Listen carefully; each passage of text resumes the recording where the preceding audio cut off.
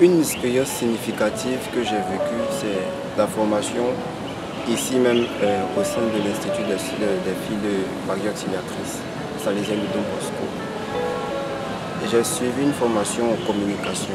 Il faut dire qu'avant la formation, j'étais un peu en chômage parce que dans notre pays ici, la question du chômage des jeunes touche beaucoup de la, beaucoup de la population, la majorité des jeunes.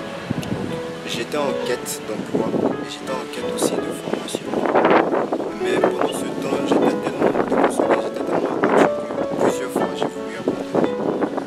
Et c'est quand j'ai fait la, rencontre de Sœur Pascaline et que je me suis approché d'elle par rapport aux formations que j'ai eu de l'espoir parce que j'ai appris de nouvelles choses des choses que je ne connaissais pas au départ, qui n'avaient rien à voir avec la formation initiale que j'avais faite, qui est l'anglais.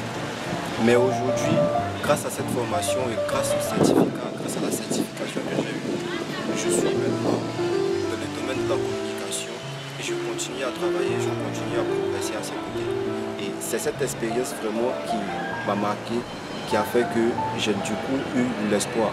J'ai eu beaucoup d'espoir, d'espérance dans ma vie et j'exhorte aussi mes frères, mes jeunes, mes camarades jeunes à chercher, à trouver en eux le moyen d'espérer de nouveau pour aller de l'avant.